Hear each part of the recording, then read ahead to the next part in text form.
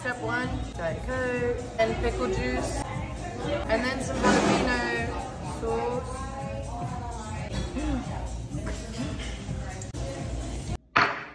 All right, Miss Doodoo, you know what time it is. I tried the ice cream with olive oil and salt and I was pleasantly surprised. So if you're gonna go two for two, then you might need to get into the food critic business. If not, I'm never streaming Radical Optimism again. So this better be good. Diet Coke, pickles, I sliced it up.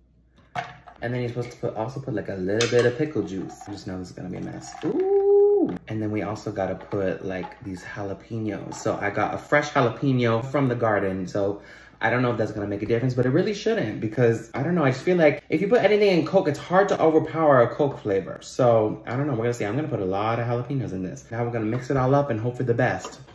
I remember when there was that trend where someone was like, if you do sparkling water with balsamic vinegar, it tastes like Coke. And I was very disappointed, Andrea. So let's see how this is. It looks like creamy. I don't know how I'm gonna feel about this.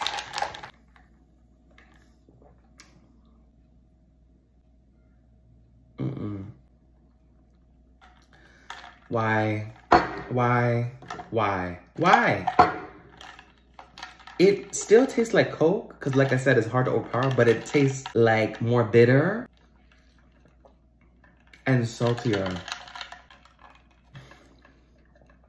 Mm-mm, mm-mm, mm-mm. And I know you're like, why do you keep sipping if it's awful? Because I want to make sure, I really want to make sure. Stick to the ice cream and the olive oil. That was good. This, her thing, I don't know, something different.